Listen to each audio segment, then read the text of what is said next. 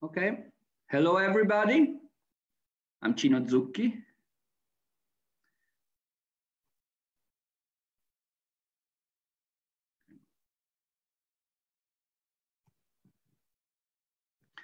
Hello to everybody. I'm Cino Zucchi. I'm a principal of Cino Zucchi Architetti Milano. I also teach in the university. And I start from a consideration back from my student time. When I was a student of architecture, I heard on my professor generate big theories. And then at that time, internet was not there. I would go on magazines and look at their uh, works. And many times I really felt disappointed. I could not find a particular relationship between the big words they say and the works. So that was very disappointing. So it's a little bit embarrassing for an architect also to be a professor, but also be a practicing architect. Many times in Italy, professors do not have not much to show. So what I'm gonna talk about today is a sort of split brain uh, situation. In the first part, I would say some consideration I have about the practice of architecture, but in a little bit more theoretical way. And in the second part, I would find the occasion to not to apply, directly what I said, but um, to show how these considerations somehow they um, can be dealt with in a very everyday practice. So everybody has today the communication problem is a big one and architects especially in front of journalists they have to simplify and find slogans i also have some experience in american universities and I've seen fights between Harvard and Princeton and Yale about branding, landscape architecture, you know, this and that. So many times today, if you're not able to simplify in a slogan what you think you're dead. So in a little bit ironical way, I gave a name to my own theory, but it's a quite cryptic name. It's called the campsite shower theory, and you will understand it later on. My screen does not move. Okay. So the issue of teaching and learning. We can say we are learning animals. We learn from direct experience, but also dogs do.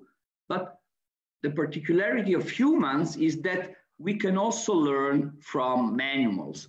You know, uh, these are all manuals how to get thin, uh, the art of getting rich, uh, marital happiness, you know, the, the cure of shyness, the art of being a man, uh, feminine psychology, uh, customs of high society. So you find a manual for everything. And today on internet, you can learn how to build a bomb or do something else just by reading the experience of others.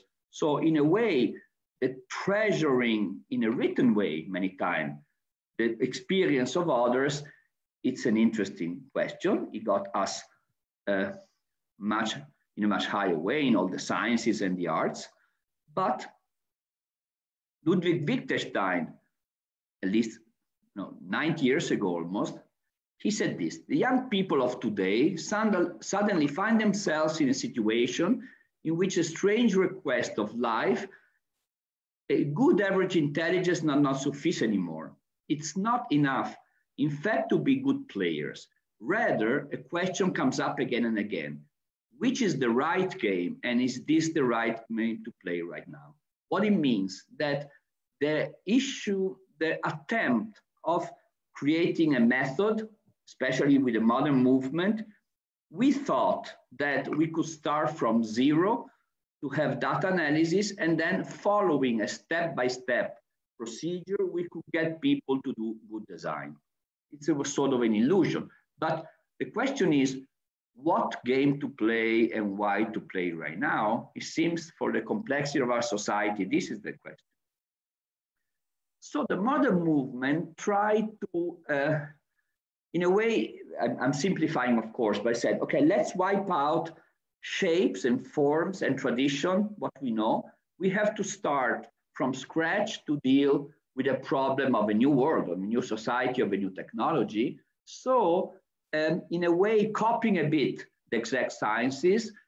The idea was create uh, a process that could generate a design in a sort of input-output model in a sort of parascientific way. So the black box is what we could call a method.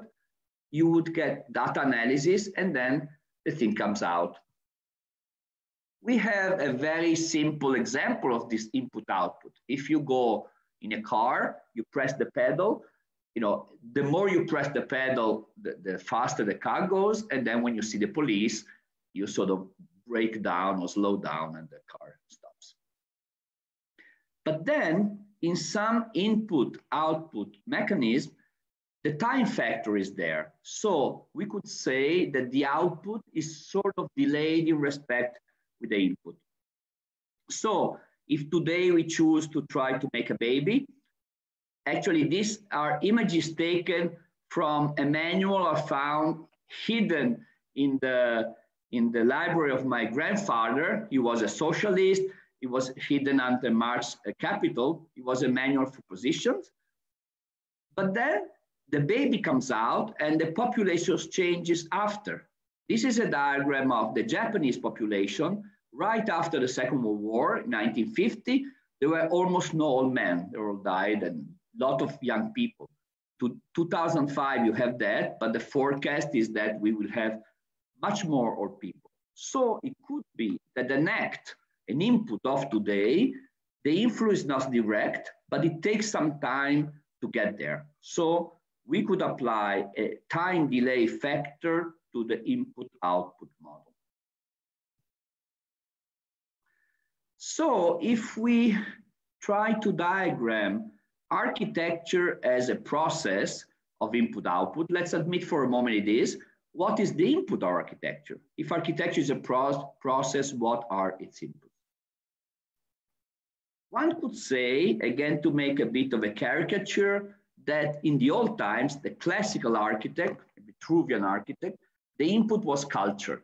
What you see on the left is an authentic drawing by Palladio, uh, is a measured drawings of some Roman ruins. Palladio went to Rome to measure them, and then on the right, you see its famous uh, rotonda, a villa. More than a villa, looks like a temple. So the architect also, the, the layman, the, the farmer could build his own house with his own hands, but the architects, it was who knew about tradition and how to trace ionic. Then, today, I think we'll be split in two. Uh, what is considered an architect, it uh, depends very much the situation you're in. So on one side, you have architects which they draw directly for inspiration. This is the famous Carlo Mollino, Italian architect. He was a little bit of a pornographer. The photo on the left, you see, it's his own chair, but also he took his friends as models. And that's him, you know, a, he was like a superhero. And then he, he made a discotheque, it's still existing, in a quite new Baroque, very excessive way. So once I met Bernard Tschumi in Milano and with his students, and he said, oh no, Cino Zucchi, now today you have only two kind of architects the signature architects who go and he went this, and then the production architects who put elevators in the building. But the other way they look at us is somehow some kind of architect engineers, technician who looks at the problem. In this case, is Jean Prouvé looking at destroy Europe after Second World War, uh, designing, you know, temporary houses for the people, the homeless, you know, after the bombing, is ideally be like Norman Fosterish idea. So this sort of signature inspiration architects and the architect as a white collar technicians are um, both present in the popular opinion. That's the way people see architects today. Sometimes it's a bit in a contradiction. But then talking about method, uh, classical architecture in a way, what one could see classicism as a way to give even to a mediocre person a, a sequence to do things and he can get the correct way. This is a page from the famous Etienne Louis Durand, um, you know, Précis Architecture. It says step, sorry, steps to follow uh, in the design of anything. That's really interesting. You know, it's like you could do, and you go uh, one, uh, sorry, the, um, the number of situation of the main axis. Two, you draw the secondary axis. Three, you trace the walls. Four, you place the columns. And then five, that's it. You get the perfect you know, new building. In reality, as you see, the fragments are classical. They're taken from the Pantheon or the Basilica di Massenzio. But then they're smoothed out to be like a Lego. To do that, you need to reduce the components to add up like a Lipid transformers. So it's like you know how to draw a cat. You draw the tail like this and this and that. So everybody following one, two, three, four, five could get to the, the results. If you type method on internet today, you get thousands. As everybody can invent his own diet, everybody can invent his own sort of design method, you know. So it's a flow chart, and the idea is that you follow the flow chart and you get the result. This, of course, simplified attitude was also applied to city planning. On the left, you see the famous Victor Gruen, uh, say, abstract city model, you know, and on the right, this was actually the cover of a book my father bought in 1964. He brought me back from the New York Fair. And I was sure when I was a little boy that when I grew up, I would live in this city, live like the Jetsons.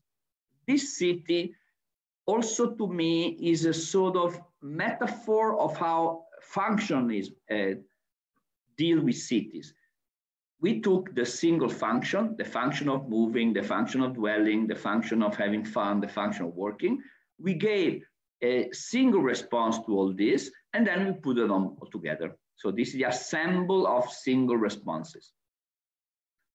Very few cities uh, has been totally planned this way. Some of have. You have a lot of these models. On the left, the Broad Acre City by Frank Lloyd Wright. And on the right, you have Chandigarh by Le Corbusier, the capital of Punjab. I will not go through all the story of Chandigarh which is actually more complicated, but we can consider Chandigarh uh, a foundation city, the founded city on a very strong political issue, because of course, after the war, the Muslims and the Hinduists, uh, you know, separated into after the English colonies, and you had a lot of migration of people. So Chandigarh is a political issue, but sorry. sorry. By chance, some, my, my computer is a bit slow in responding.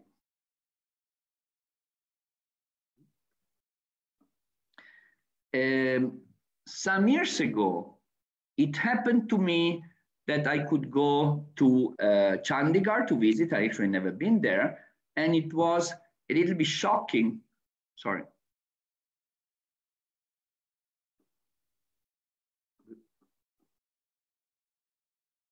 It's very slow in changing the slides. why. Just a second. Everything else open. Just a second, Might be too many things on my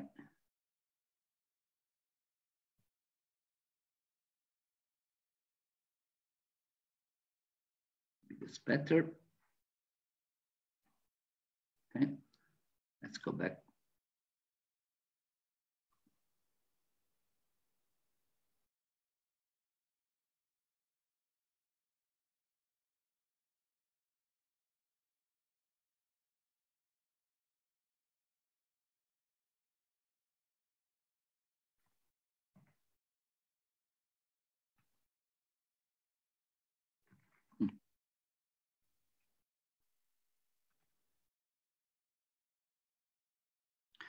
Okay, sorry, I missed some pictures, but just to say that I had the occasion to go to Chandigarh to visit it. And what I saw, it was in a way quite different from what I saw in the books. It's a completely designed cities which has been living for some years and with the adaptation of people to their own needs. So you have fragments of very iconic pieces of Le Corbusier together with everyday life. For example, you have this famous Brise Soleil, and then since Punjab is a very damp place, that was not enough to give a good climate. So they had put the air conditioners all over. And what would be the symbol of the parliament is a barbed wire. So the big Campidoglio square by Le Corbusier is totally cut in two. You, you to cross from one side to the other, you have to go through a checkpoint because of political, again, you had uh, things. And then, you know, this, this, this poetics of Le Corbusier of exposed concrete and round columns has been in a way decorated and adapted to everyday life. So you have a po Le Corbusierian ideal and then uh, people adapting it to their own needs.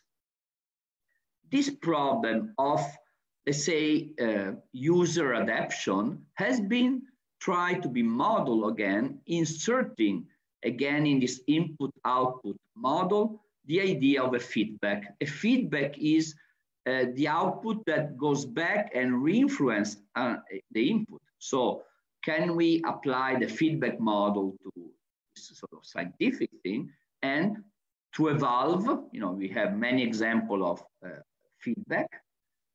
And one, for example, is a self-balancing feedback. It's typical for, uh, for a plane when the plane gets out of the vertical, you get more pressure on the underneath of the tail. The reason the plane is made in two is because of this. So this is a case of a now self-correcting feedback. And, but also we have cases of feedback which amplify when we have like music distortion. But then also in a feedback model, we can apply the time delay. There's a mathematics of it. We could say that uh, if we try to re-influence the input with the output, it could take some time. And this is where my name comes from. If we go in a sort of campsite shower and we try to take a hot bath, we start to open the water and it's really cold. So we freeze. So then we start turning up the hot water faucet, but for a while nothing happens because the water takes some time to go through it. So we steer and steer and steer, and then we risk to get too hot, and then we correct it back, and it takes some time until we get it to the right uh, solution. The mathematics of it is about oversteering. In a way, the only way to deal with it is having patience, to have some, to wait some, time for your correction to act. So we, if we are too nervous, you really can get hot and cold very time. So this diagram you see, it's a sort of self-balancing after while.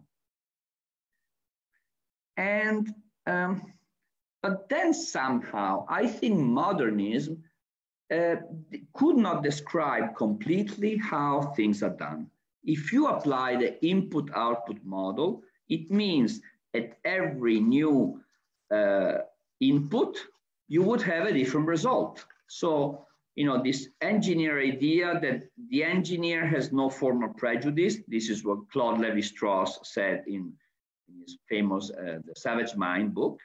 And for some reason, when we look at human artifacts, we have a feeling that uh, it's not true we start every time from nothing.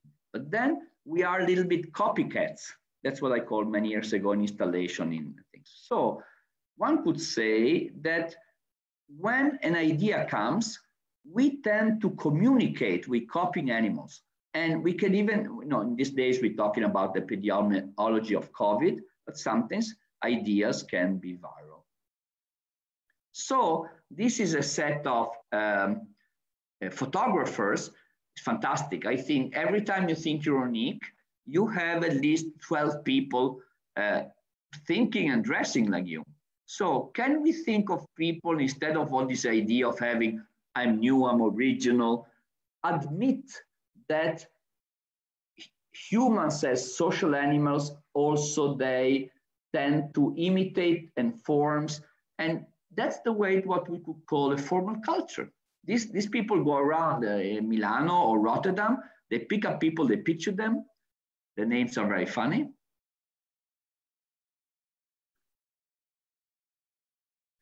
I love the, this uh, corpus on, on the left. They, they look casual, but they all have part of the shirt out. And while I was going on a Vespa to the university, I started taking pictures of fragments of facades in Milano from uh, after the Second World War. Uh, this sort of abstract texture, almost familiar, it means uh, left alone the, let's say, the masterpieces of architecture, you know, we have quite good architecture from the 50s and 60s. This is the no-name architecture, maybe what Rudofsky would have called the architecture without architects, but still we feel that these things have something in common, you know. So can we think about what we could call material cultures also in architecture? And this mechanism of imitation also happened, for example, in coins. This is the history of Roman coins copied again and again in, let's say, barbarian times, where the coins was precious, but each copy did not know the original. So uh, the copy of a copy of a copy lost, like in, in English, you call it a Chinese whispers. We say telefono senza fili. Uh, there's a slight deformation and in a way evolution of copying things again. So can we look at the human artifacts? These are the famous Bernd and Hilla Becher pictures as we, an entomologist, almost a Darwinian way of uh, the mechanism of trial and error who generates also technical forms. This is a sort of a history of the cell phone and is also the, the history of a kind of particular kind of guitar, in Spanish guitar. Could we apply some kind of evolutionary model to the development of architecture technical forms? But the evolutionary model of the first, uh, you know, the last century was somehow linear. You know, it, it, it, it went into a line. But the real situation is more like a tree with a lot of dead branches. For example, we recently discovered we also, the Neanderthal man almost totally disappeared, you know, the Cro-Magnon man. So even men, uh, we have two or three um, dead branches even of men as we have of horses. So the path up to there is not linear, but it's more like a cespuglio, a bush.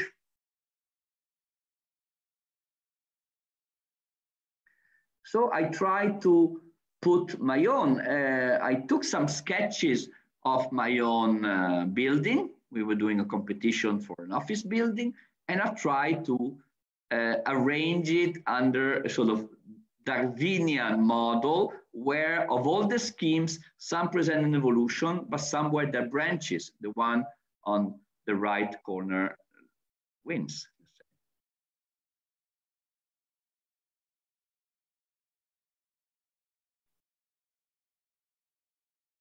Uh, my computer is slow in changing, maybe just to have it there. So this idea of failure, you know, Samuel Beckett used to say, try again, fail again, feel better. Can we think of the process of designing as a trial and error where you have an idea and then you check it against? So the idea is that the inputs do not contain completely all the data to generate the form.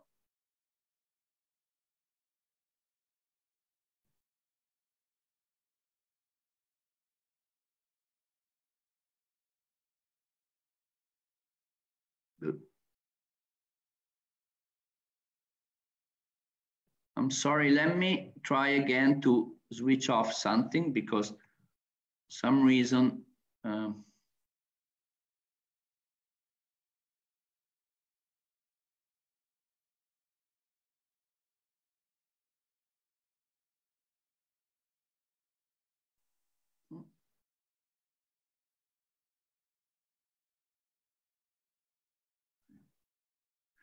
So when we think of the original sketch, I don't know who invented Keep Calm and Carry On, who will get a lot of money, but why certain things get more viral than others? That's a good, a good question. Then, before getting to showing my own work, I would say that we could deal also with the issue of time. somehow the products of architecture survive their own genesis. This is actually famous Piranesi uh, tomb on Appia Antica, and that's what's there. No. So uh, forms and buildings tend to survive the process that generated them. These are pictures of abandoned commercial centers, America, and the paradox is that there's nothing more functionalist than a commercial center, but then when a commercial center fails or you know, it's like a money machine, it's very hard to reuse it. These, these uh, visions are quite scary.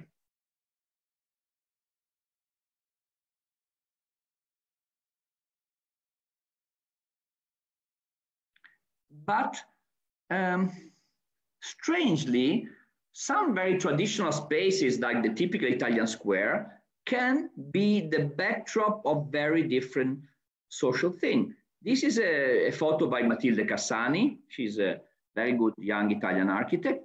And she pictured a community of Sikh people from, uh, Sikh is a, is a sect, uh, you know, is a religious sect in, in India. And they, since they're very good cattle um, carers, they inhabit the, the pianura and then they have the annual feast. So the typical, almost Fellini-like Italian square can be the back, backdrop, survive and give a backdrop to everyday life in the city.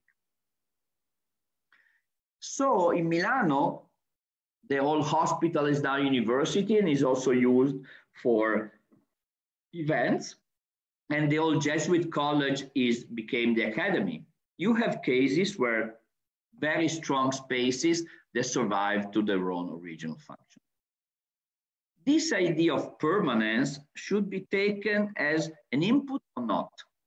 Uh, Christopher Alexander criticized the functionalist mode of, in his famous article, A City is Not a Tree. He said, modern, modernist pla planning try to generate the sequence where single dwellings were generating buildings and then we generated new towns and so on. But then this tree model is too deterministic.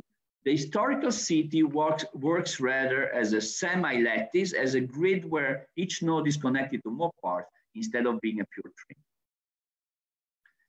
Today, we are also considering that this sort of spread out suburban model is very unecological. In reality, very low density cities like Houston or Phoenix are much more energy consuming than the dense European uh, cities. So we are rediscovered that density not only could give good quality to urban life, but also for a lot of reasons is not the time to, to, to explain here, is much more ecological in terms of uh, consumption.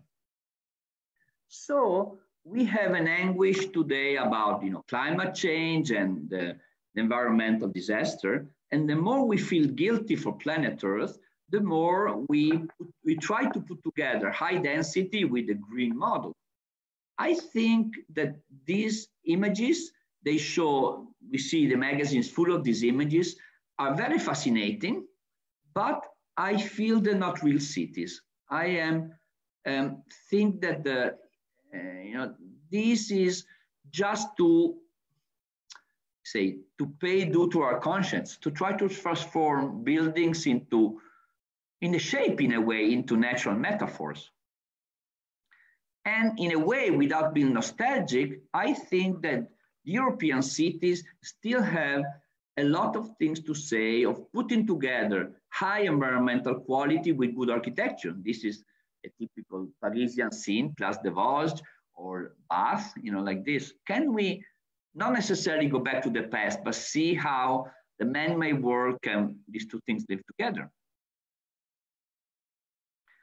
And, you know, especially in this uh, COVID time, uh, I've been responding to like 20 interviews, tell us architect Zucchi how we will live tomorrow, how we will live in a post-COVID world. But if we go back to see all the futurologies, you know, half of them we got it right, but half of them they were just a projection of the life at their time, you know. So you can see in the futur futurologies of the past also a lot of languages and lifestyles So in a way, the Jetsons are just a projection of an American suburban family. In uh, 1972, it was the first attempt from an MIT team to, uh, to see how the system worked. And they wrote this famous book, The Limits to Growth. They made an algorithm, put it together, food, economy, ecology, and really this showed that something beyond years 2000, the whole thing would collapse almost. It was very scary. When I read this book, I was in high school, I decided to go to MIT, to study at MIT.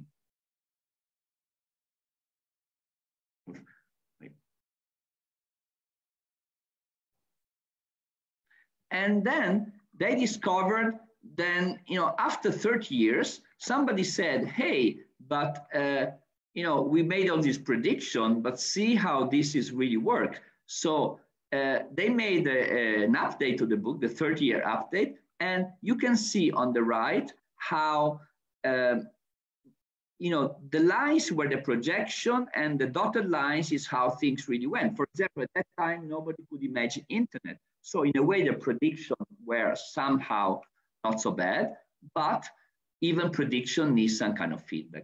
So today, the new of this world is that we have a lot of instruments or predictive instruments and way of analysis with the computers who could simulate what will happen, but we could be a little bit wrong about it. You know, uh, in the COVID was a, what is called a black swan.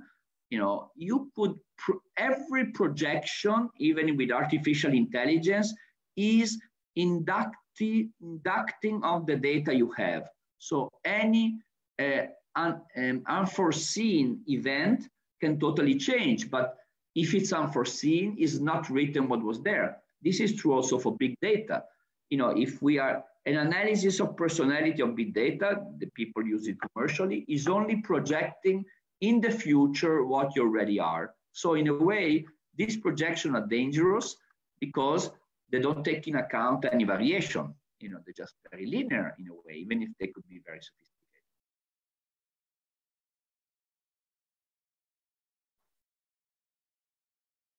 Okay, so to uh, go to the second part of my speech, I will try to quickly show you some works I did, forget all everything you, you saw to now, and just to say that this sort of slowness of architecture, the fact that the response of architecture is in a way slow in respect to the input. So it could happen that the output is not um, in the meantime that we build architecture, especially in Europe, which is lower, probably if you're going to buy, times are much quicker. But in Europe, many times it takes a long time. It, happened to me that we have projects in the studio who are like 15 or even 20 years old.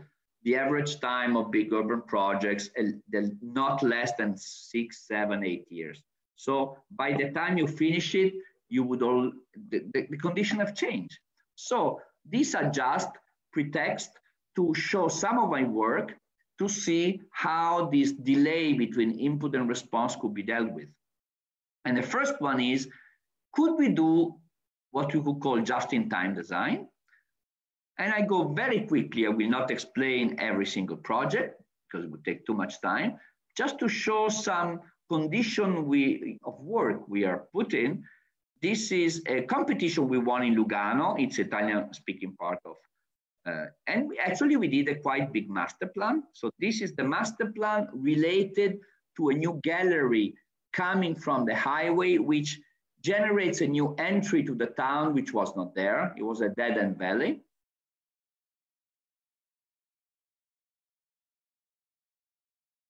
And sorry, some, some, some slides are skipping.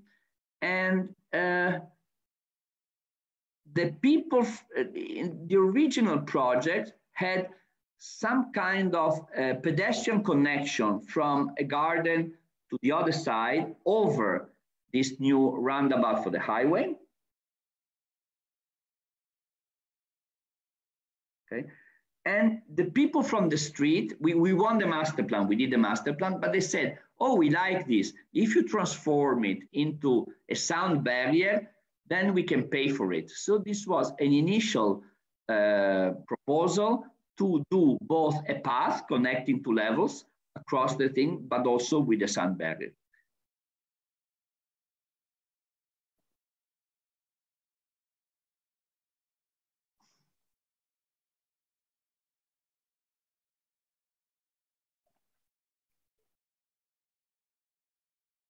Then um, there was, uh, the galleries was built and for some time you needed, they could not realize the roundabout. So um, they asked us to do a very temporary screen to screen the roadworks. So this is a project we did in like 15 days. We took some uh, wooden poles, we took some PVC tubes. So it's a very low tech project, just something, a temporary project will last three, four, five years to screen the construction work and to give a, so a pleasant look out when you get out of the gallery.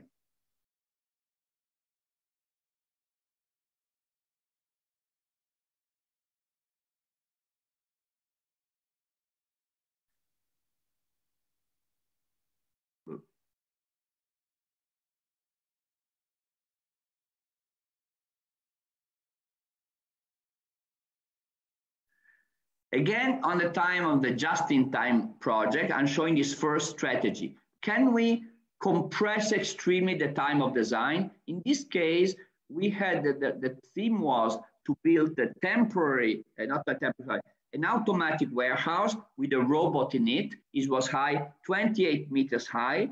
It was in the back of this factory. This is a very plain factory of uh, these people to chairs. And since it was very high, basically was a box totally designed by the, the engineering in it. So even the structure did not exist. The scaffolding hold up the structure. So this is the interior and you have this robot going up.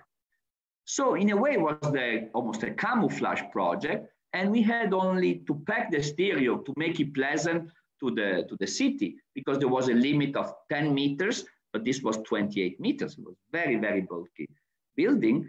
And then we just took some aluminum pieces. We painted uh, on one side in three shades of green, and on the other side, just aluminum color.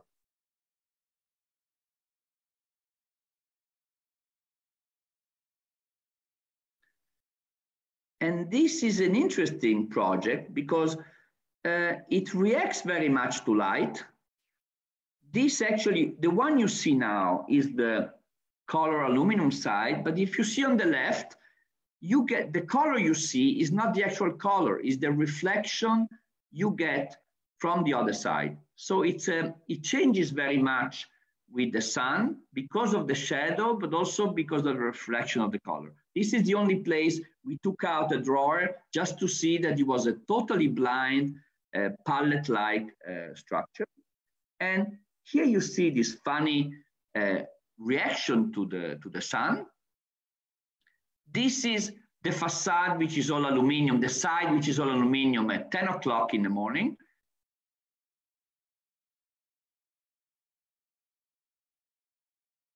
Oh, sorry, it skips.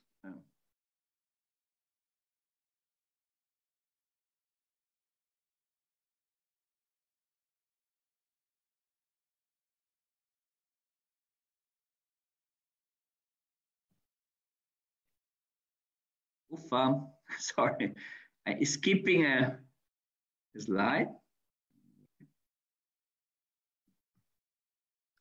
Maybe if I shut off, Anastasia, maybe if you shut off the my face, it maybe is too, the connection is not so good.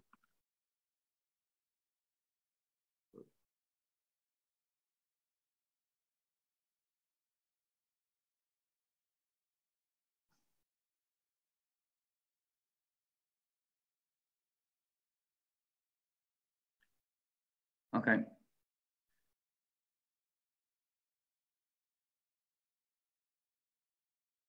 Okay.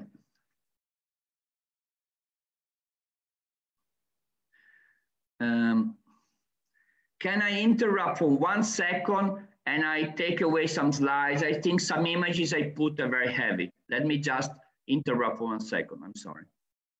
Uh, one second. I interrupt the vision.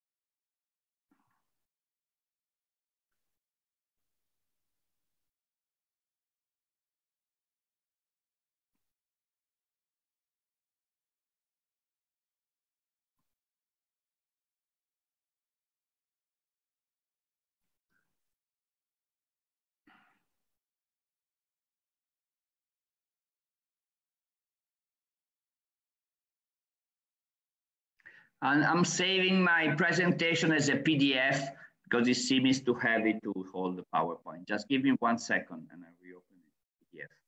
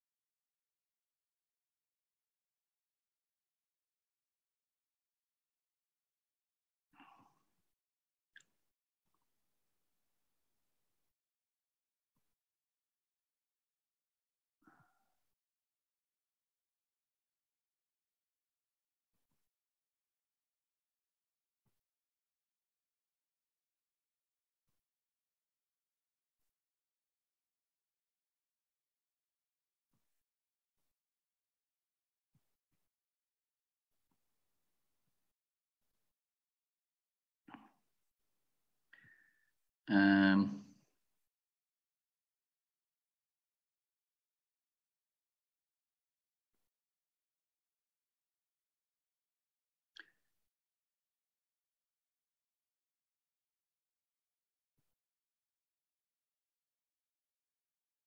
Can you hear me again?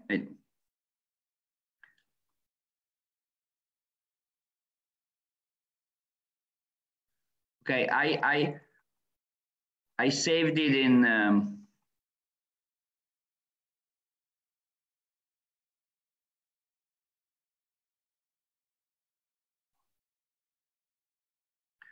Okay, I hope you're giving us no more problem. So again, talking about uh, just-in-time design, this was uh, the Italian pavilion for the Biennale. It was one of the most uh, fast projects I ever did. It took me only three, four months.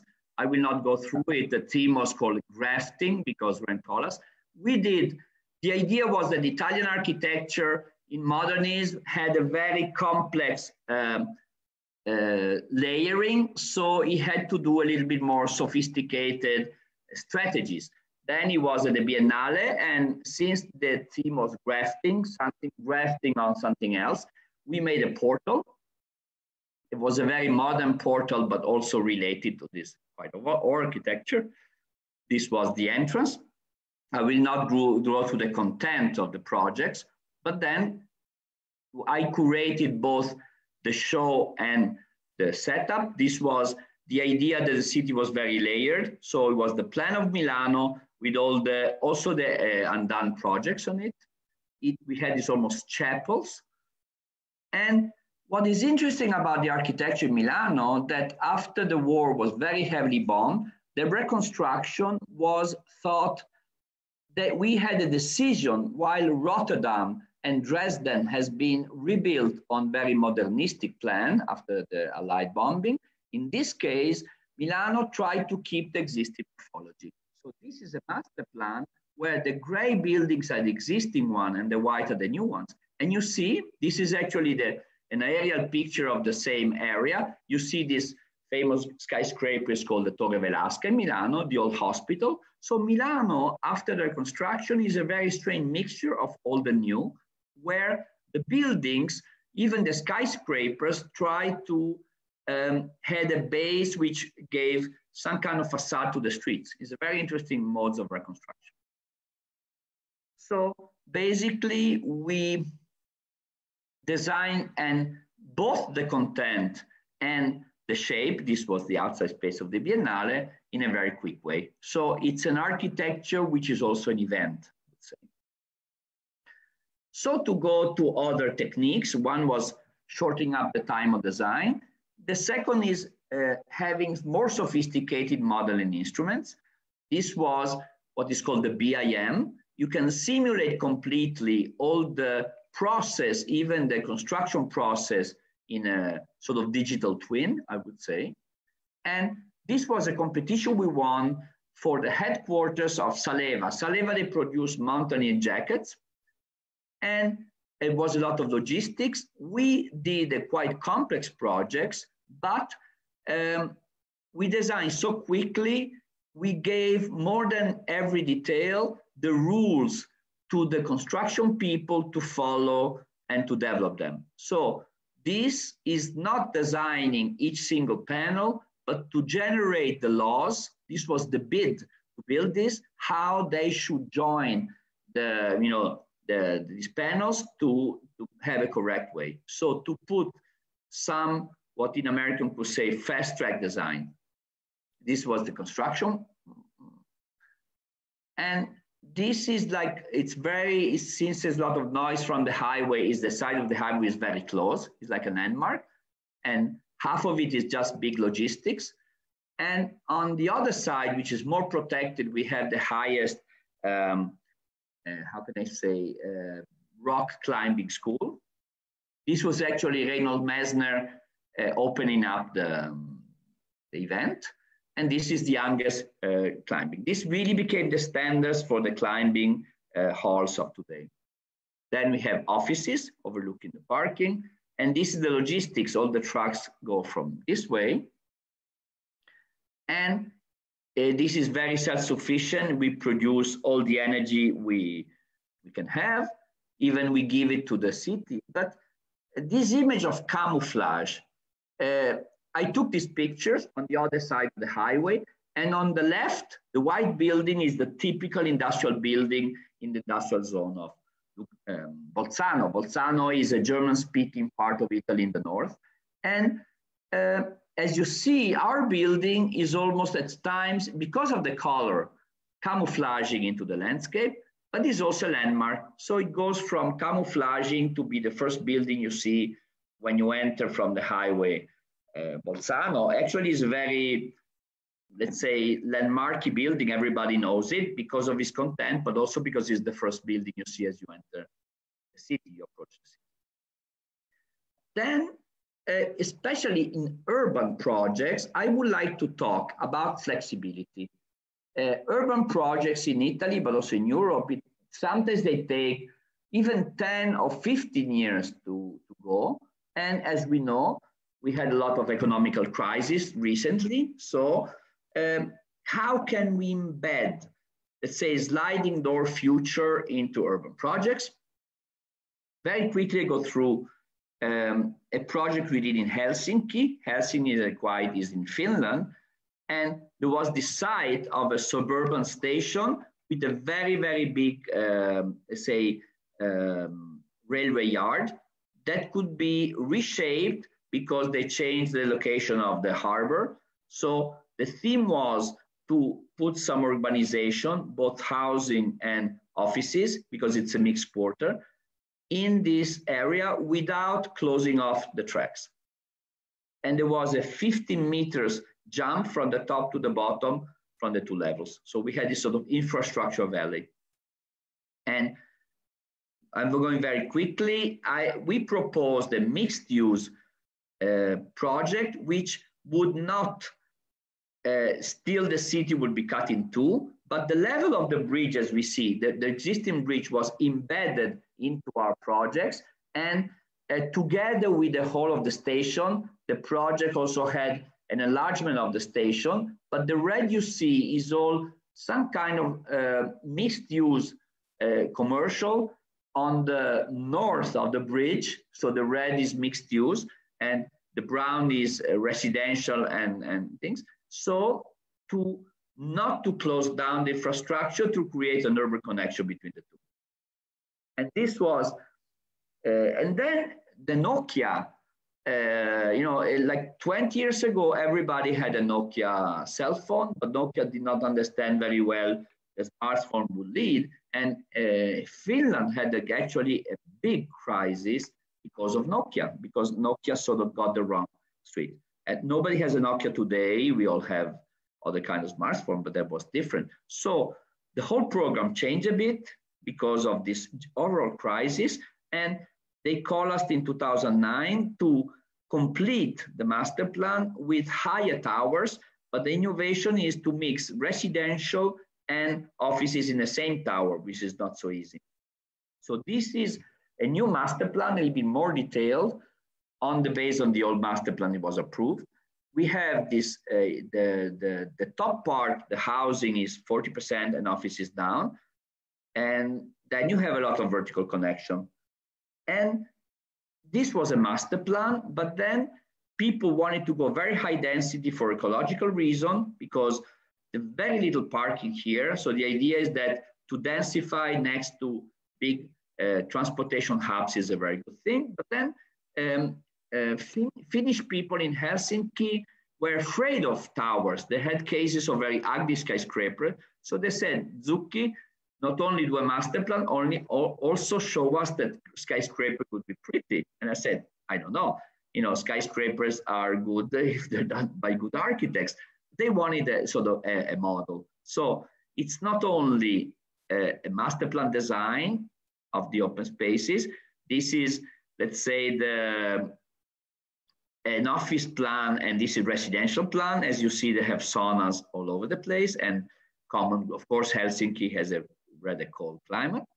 But then they also ask us to do a simulation. So these are not real projects, but to show that a place like this could be could host different uh, architectures. And I think our real project in the end was not a skyscraper, but the open space. I see, I this is a bit of a joke, but say Italians are good in making towers. This is the famous medieval city, San Gimignano. But our specialty is this. This is still San Gimignano. This idea that you could do a concave open space. So I said, if they call us all the way to Italy, we should give them a little bit, not of stylistic Italy, but this capacity of Italians to do very cozy open spaces. This is another uh, master plan we did for Tirana, Albania. Uh, you know, the, the, the, political situation very strange. After, in the last 10 years, Tirana had 1 million more inhabitants. So they they, they go from a rather small scale to a total um, three quarters of this building are just almost like squatter houses with no streets. So the project tried to continue the existing, they call it the Boulevardi, actually was designed uh, by Italians. Al Albania was not an Italian colony, but the Boulevardi is from uh, Italian, but to transform it to some green thing, which would connect an urban situation to the hill and the, the river. I will not go through in the detail, but also to try to make some kind of strategy to, um, to intervene in this quarter housing. We need to cut some new streets because it was impossible to reach them. And on the other side, uh, to uh, absorb into this very ambitious plan all the regularities and the very small fragmented scale what was there.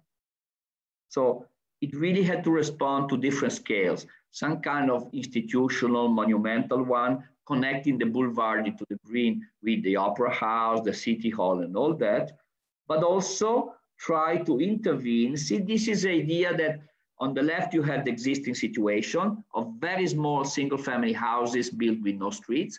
So we could make some kind of blocks which could host in the interior also this kind of fabric to everyday life. So it was the idea that you propose a model that could slowly transform into something else, even in time, or maybe accept a little bit that. We couldn't just not wipe out the whole thing.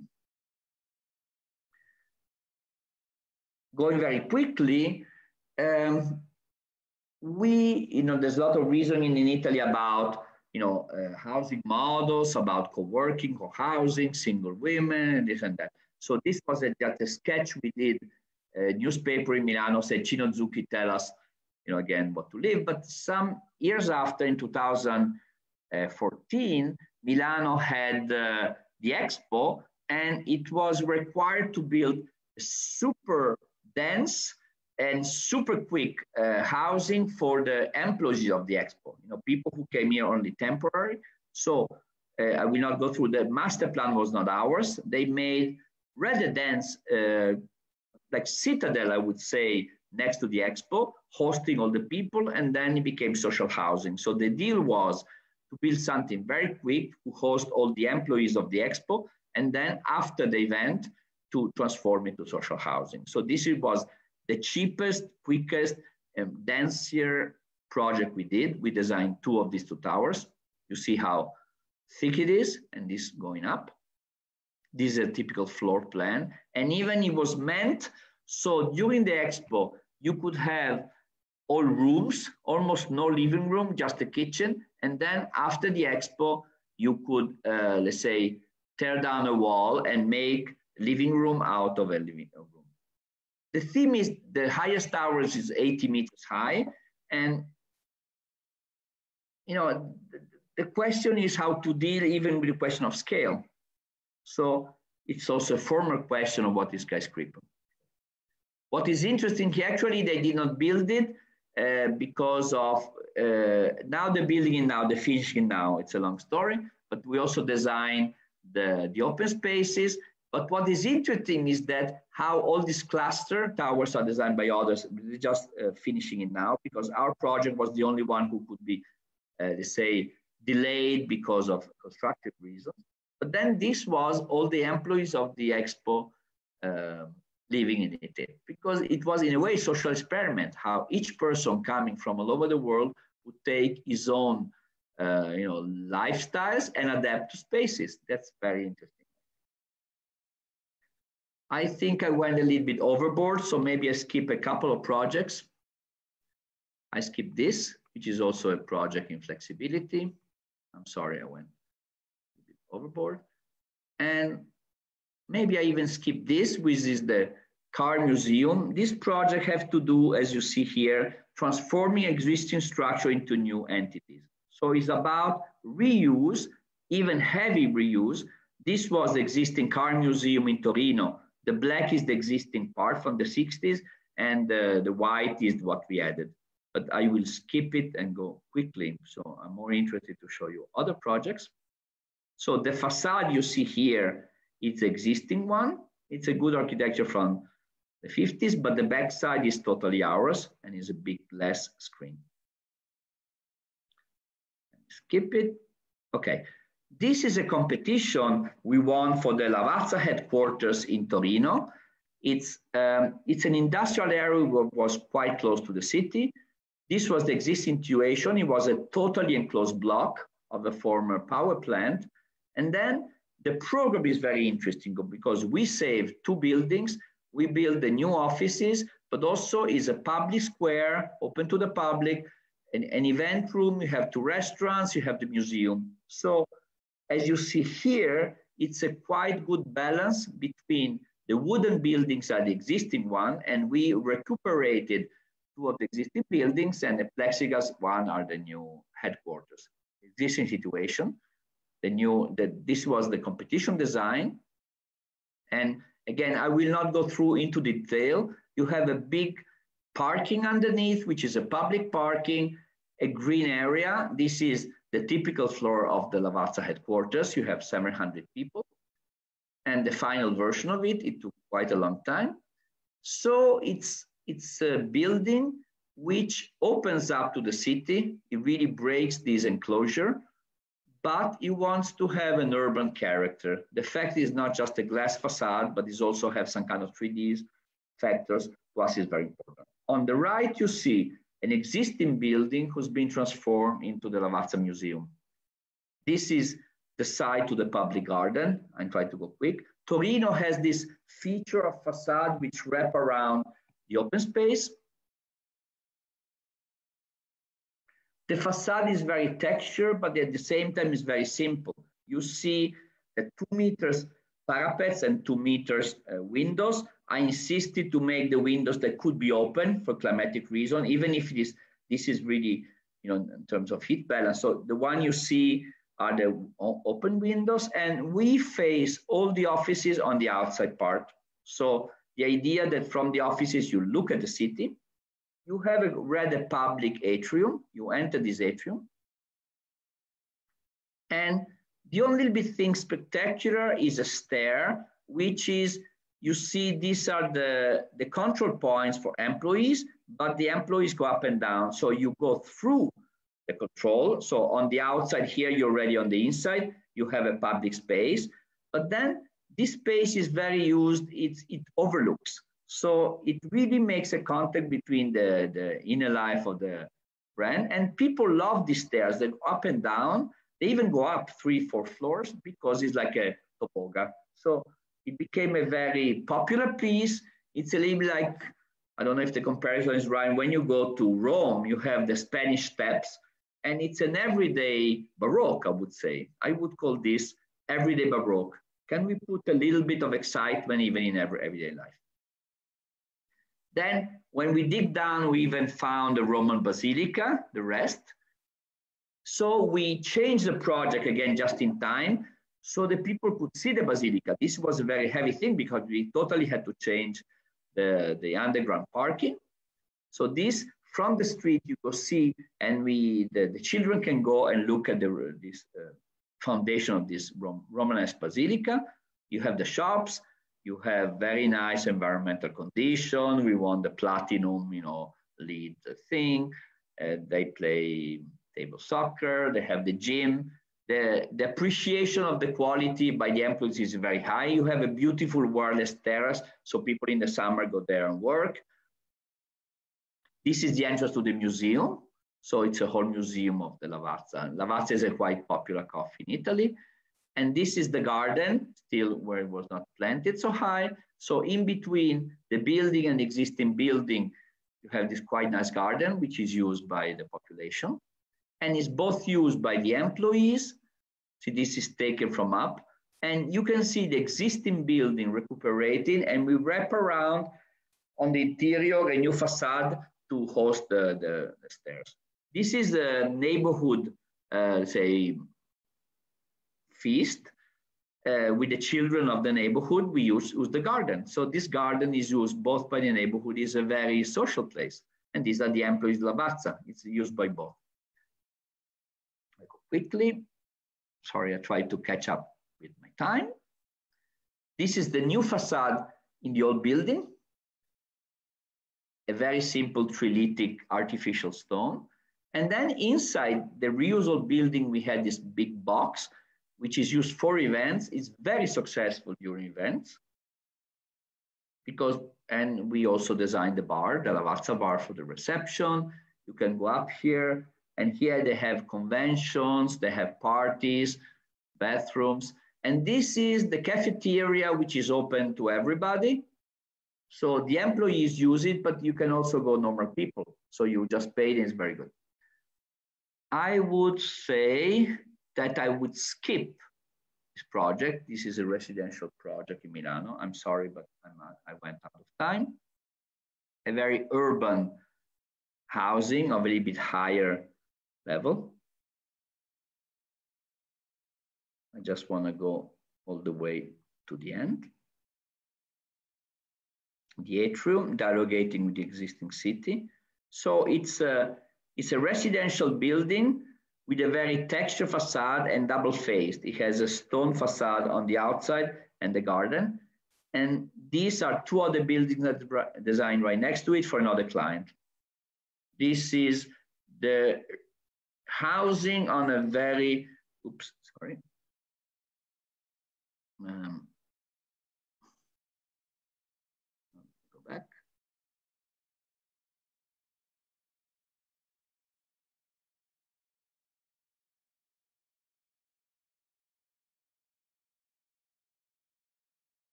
This was in Laveno on the Italian lakes, and it's it's a lakefront uh, housing, as you see there, where it was an old factory, ceramic factory. So we had the occasion to build in front of a lake, which is not so easy, in a quite nice, uh, say, country uh, environment.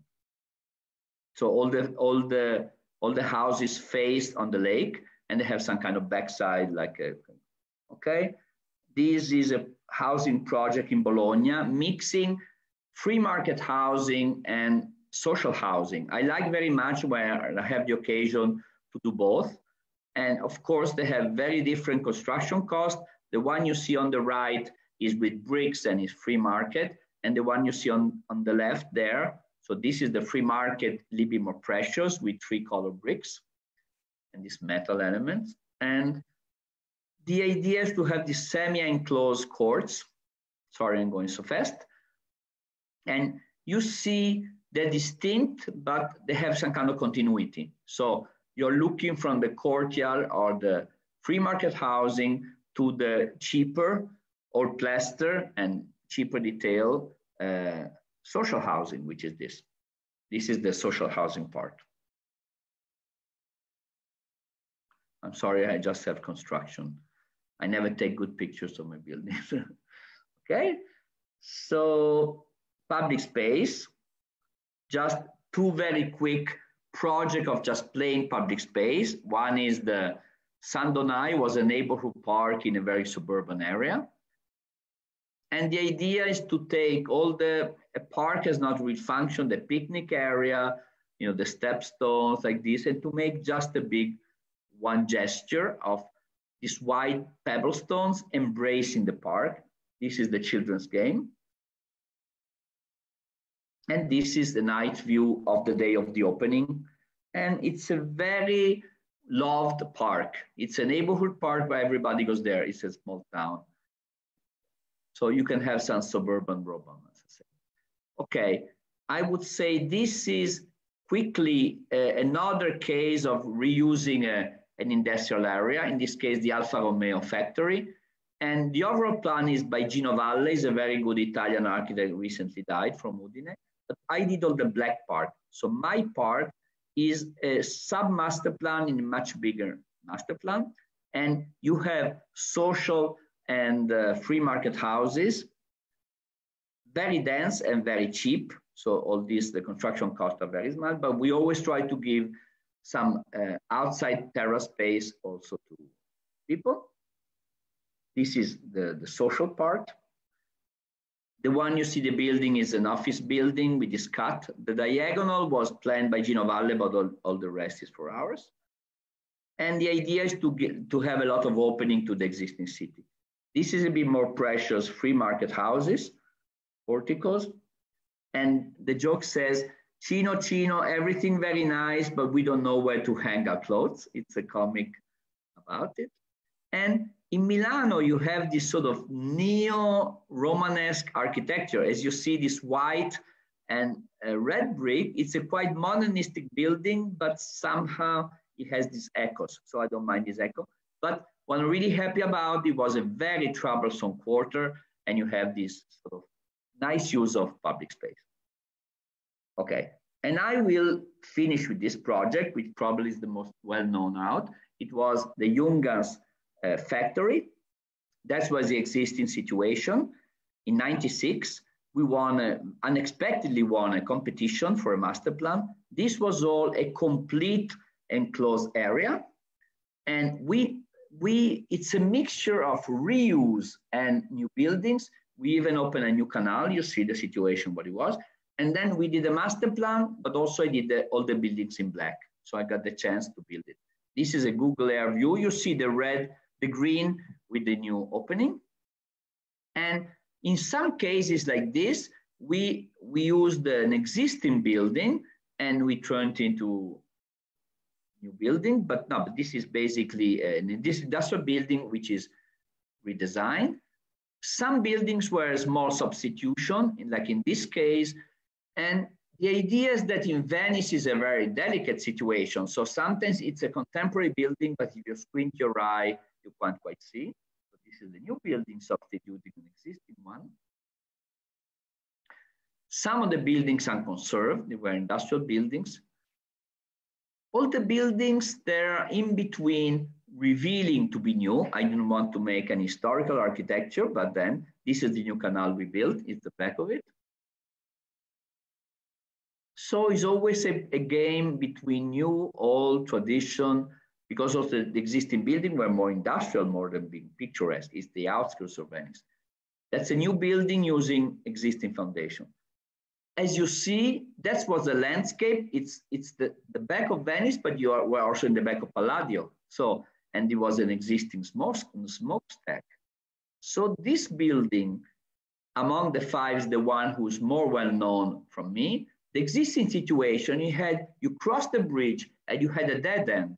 So we opened up and we cut through and the other building you saw before, and we kept the chimney. So in a way, urbanistics in Venice is like microsurgery. This is uh, social housing, very cheap. You see, we, we try to keep the smokestack as a testimony.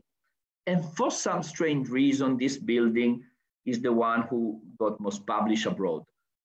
Uh, I took a very typical motive of Venetian architecture, which is this white stone uh, around it. Actually, this is this cut we did through the other building to let all the people get to the new Laguna Square. And in a manneristic way, I would say, I did uh, the bathroom and kitchen windows, which are the square ones, and they don't need any obscuration, so they're flush with the facade in a way. They are the one with the biggest corniche. The living rooms are the big ones only, only a sill, and the bedrooms are the one in between. So it's a kind of inversion, transforming, this is real stone, but we transform it into a sort of graphic motif. And it's the closest things we could do for also for hygienic reason, for building regulation to the historical architecture. In this case, you have place to hang your clothes. And this is a bit of self-joke, sometimes a bit sarcastic against the architects. And he says, uh, how do you do a building in Venice? You take a piece of butcher paper, you put on the record player a romantic song about this Italian folk singer, you think of your first love and you cry a bit, and you draw the windows where the teardrops have fallen. Of course, this is fun, but just to say that when you're in Venice, you need to deal with the issue of romanticism. That's it. That's the way to design a building in Venice. We still don't know if we did Mondrian of, or picturesque. We try to understand that you cannot express yourself individually in Venice. I mean, the whole city is such a delicate thing that you almost don't have the right to say, you know, like, I'm dead, bang your head on the table. But then still, I resisted my client who wanted stylistic architecture. So it's like a camouflage. And I would end with this phrase, which to me is quite deep. It was written in 1923. It says, while the functionalist looks for the maximum possible adjustment to a goal as specific as possible, the rationalist is looking for the greatest chance of compliance to the largest number of necessities. Nothing more understandable for rationalists to put an emphasis of form. Form is born with the establishment of human relationships. The lonely man, isolated in the midst of nature, has no formal problem. The question of form arises together with the union of more individuals, and form is the condition which makes possible man living together. the intuition that we can respond to everything, but in a way that form is also a social contract. This is quite deep. We have to embed, today call it resilience, call it robustness, use any fashionable word, but since architecture survives the program we generated it, we cannot but not to respond to the program, but we have to put some uh, redundancy, I would say. You know, if one eye or one kidney, it stops working, we have to. So I think redundancy and openness is uh, a fundamental issue. The Giuseppe Lavazza, the head of Lavazza, called me up said, Cino, you don't know how well your building is behaving in the COVID time. He explained me all the procedures they had in the offices. Because of this big atrium, we thought it was, now it's so useful, we could not live without this atrium anymore. So I think a building sometimes should be like a good, good clothes. You feel well in it. So here is just to show that I designed this house just for the place, but then also today architecture has a second life. The icon of this house has been reproduced over and over again. It's this idea that once you make form and it's the right one, it somehow get reproduced, like I was trying to say in copycat. And I want to finish the idea, these are taken from Christopher Alexander pattern language, that I think the city is not just a functional place, it's also a place, a romantic place we love. So before surrounding to the city, you know, like this, the city is still there waiting for us. And I think, at least in Europe, we are urban lovers. So I thank you very much for your attention and patience. Thank you. I'm sorry to have gone a bit out of time because of computer reasons. Ciao, ciao.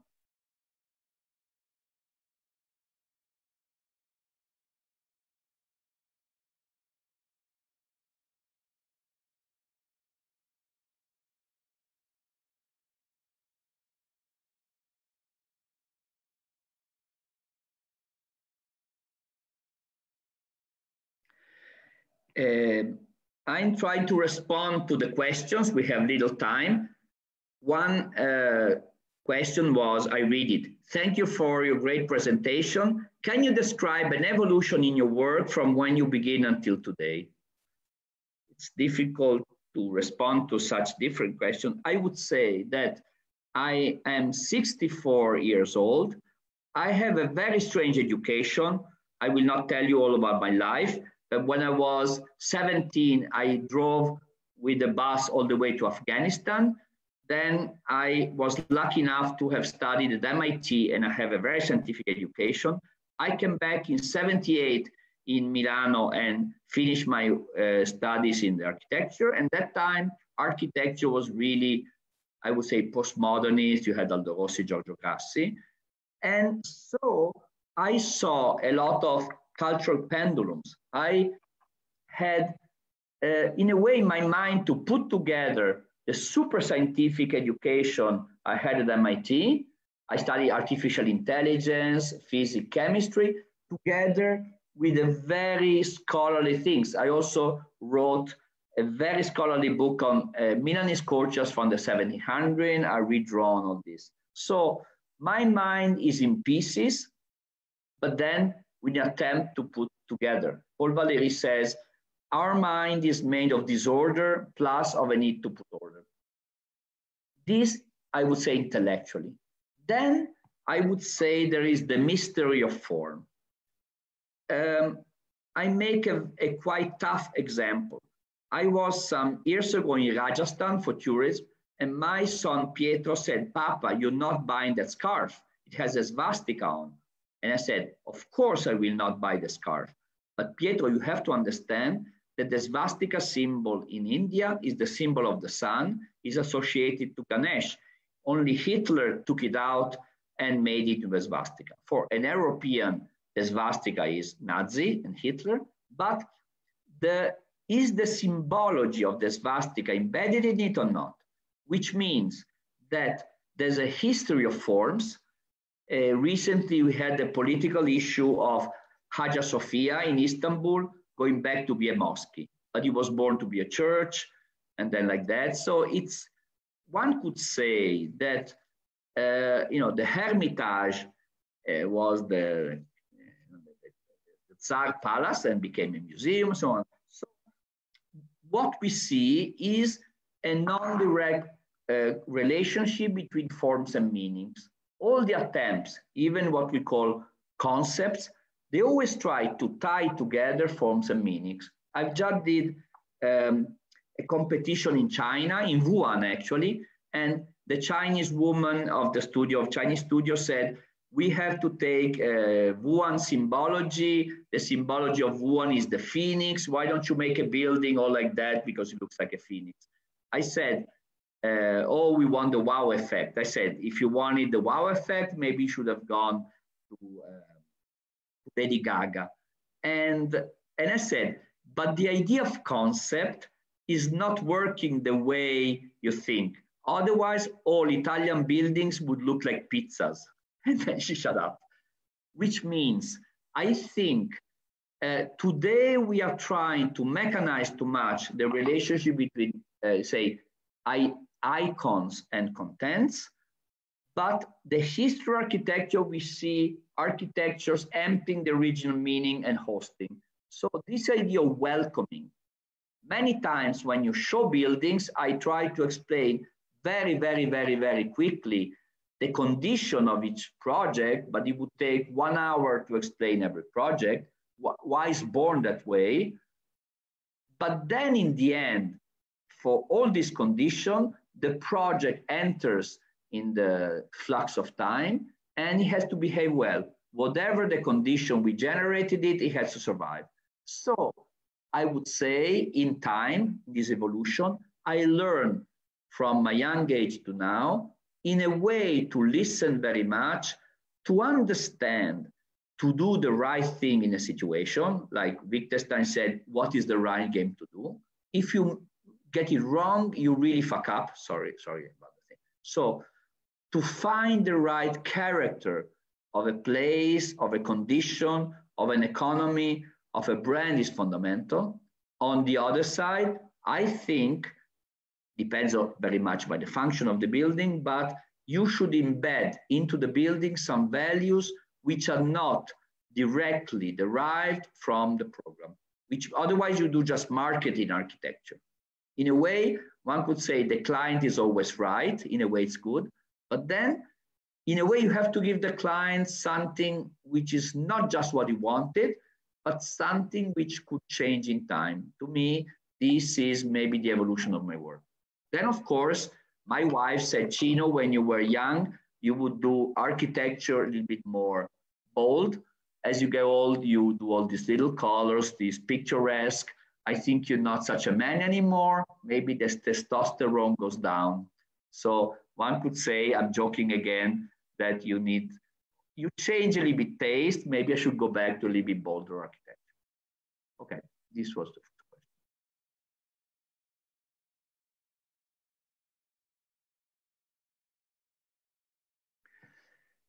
This, um, I read the question. The pandemic has added its component to all urgent challenges facing modern architects at the beginning of 2020. How possible is it in principle to create an urban architecture that will be safe during a pandemic, climatic, environmentally friendly, energy efficient, and at the same time sufficiently budgetary? Is it possible to reach all above goals? In December 2019, of maybe even January, I went to Holland uh, to see what is called the student hotel. It's an incredible place where you had co-working, co-housing, young, you know, it was the, it embedded all the idea about co-housing, co-working like this. And it really looking at this building, we had all kind of function in it. I was almost uh, changing my mind about functionalism, you know, like the fact that you, we need to put it together. Then I'm wondering one month later how that building, even the business of this building, going away. We are reasoning very much in office places, even in our own studios. I have the lucky of having a large studio, and everybody's asking somebody else, "Are you keeping distance?" Today we were talking to people, should we take down the mask and so on. So it's a complex. But the question is, can you plan the city on this? Again, isn't the city something which changes so slowly that uh, maybe it's arrogant to say that we can design a new city for this. If uh, COVID, of course, we can have other epidemics. Maybe we should make healthier places. People are rediscovering their own houses. You know, I, all my friends are saying, oh, how, you know, in a way they're discovering the homework. We're talking about it. But many of these issues are, they say, sociological issue. So the main issue is, can we directly translate sociology into spaces or not? Let me make an example. You know, we have these pictures of Piazza San Marco, the famous Italian square, totally deserted. But now I went to the pizzeria the other day and people were behaving like months ago. You didn't see even the pandemic. They were eating all together, laughing. Maybe it's not a very good behavior, but people want to stay together also. So my point is, even if we think of an architecture or a city, we should be really related to the conditions. Of course, a city is a human artifact. I would say that a good bench, well oriented to the sun or shaded under a tree, can host equally well cyberpunks, old gossip ladies, lovers who kissy kissy, and alone people who cries the same bench can host our body the day of winning a competition and the day of a death of our parents. So is the bench related to our state of happiness? Yes, but you cannot determine that. In a way, Venice, it's a very nice place, but the rate of suicide in Venice is not bigger or less than a very shitty place. Sorry. So of course, it's nicer to have coffee in Piazza San Marco. You know, there's a famous line by Francois Sagan. He says, it is better to cry in a limousine than in a subway, which means rich people, richness will not make people happy, but you know, he, she was, she's making a bit of a fun. Maybe we release the condition. So I think a beautiful city with beautiful spaces will not totally change the life of people. I think socialism had, had we try to do social determinist. The ex-USSR is a typical kind, if you think of constructive architects, you know, they had, uh, you know, Narkomfin by Ginzburg, Moisei Ginzburg, was the idea that you can build a new man just by reducing totally the private space and make it in common. When modernist architecture tried to do social engineering, it failed. So I think we can uh, make a beautiful love backdrop to our life, but we should not be too deterministic. So in the end, especially in urban design, of course, we can change. A lot of people very quickly change. We are making boxes to contaminate, but I, I don't think the city in a way is really the time lapse to react to the COVID. Last thing, I'm worried about the next catastrophe could come from a very different place. Uh, I would warn the younger generation of this.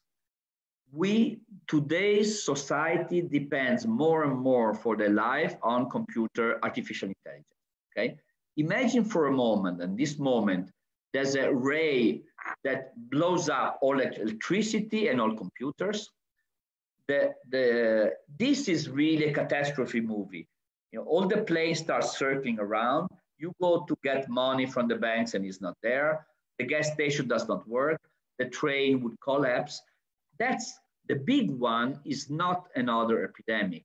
The big one is the collapse of informatics, uh, information technology, and today more and more we delegate to machines. So the catastrophe American movies in a way, will be probably more reached by the collapse of information technology. That's the big one. And are we getting ready for that? I don't see no, because we're talking about smart city, smart city. You know, if humans will not be able I'm not against computers, of course. I use computers very much. We are today using, even during the COVID, you know, even old people, my mother, my grand, you know, uh, they had to be forced to electronic communication. So that's a very good side. But there would be a moment that we have to make a calculation by hand. Maybe even in my studio geometry by hand. I know very good geometry. I could do perspectives by hand and nobody can does it. One hour ago, while I was explaining to my graphic the say the theory of the shadows, which is a very classical theory in Beaux-Arts, every student of the Beaux-Arts knew how to do shadows. The young kid, they only used the computer. They try to redraw it, but not knowing the grammar, they can just copy it because they don't know the theory of shadows anymore. So I would say, I don't want to say everything has not to change. I think ecology and sustainability is the big issue of our time, absolutely. And, but I think in the end, we should do very good human environments.